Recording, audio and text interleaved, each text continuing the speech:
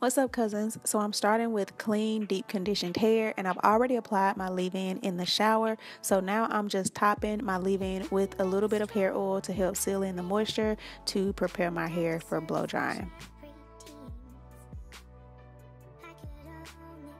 Just gonna detangle my hair with my wet brush.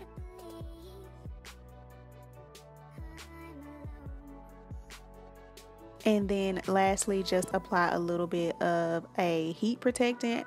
You can use whatever heat protectant you want to. I just use whatever I had lying around the house. I'm not picky about it. But to blow dry my hair, I am going to be doing the tension method. When I do the tension method, I just like to take a brush and hold it towards the end of my hair. This helps to keep my hair taut while I blow dry my hair straight. And also, for some reason, whenever I'm doing the tension method, I prefer using a brush versus just kind of like tugging at my hair and holding my hair tight because I find that after a few minutes, my hands get really tired. Like it's almost like my hands start cramping up. I don't know if I'm holding my hair too tight or if I'm like in the early stages of arthritis. If you guys have that problem, leave it in the comment section below and tell me what helps for you, or just let me know that I'm not alone.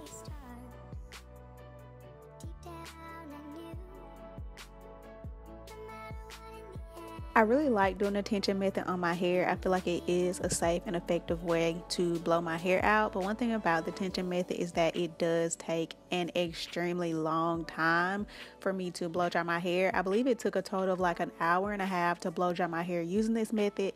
And of course, I am low porosity, so it takes my hair extremely long to dry anyway. I did blow dry my hair on high speed warm heat. So, you know, just the less heat that you use, it's going to be or it's going to take longer longer. So just keep that in mind. If you're going to do the tension method for your hair, just make sure that you have some time set aside because it's going to take a while.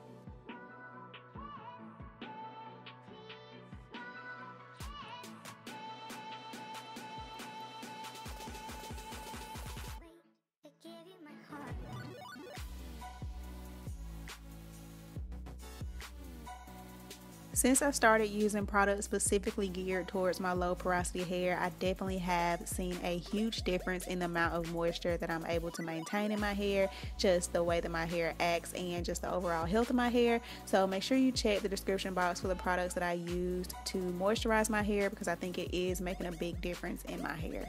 Lastly, I like to complete my blow dry with a cool shot just to help close the cuticles and seal in the moisture.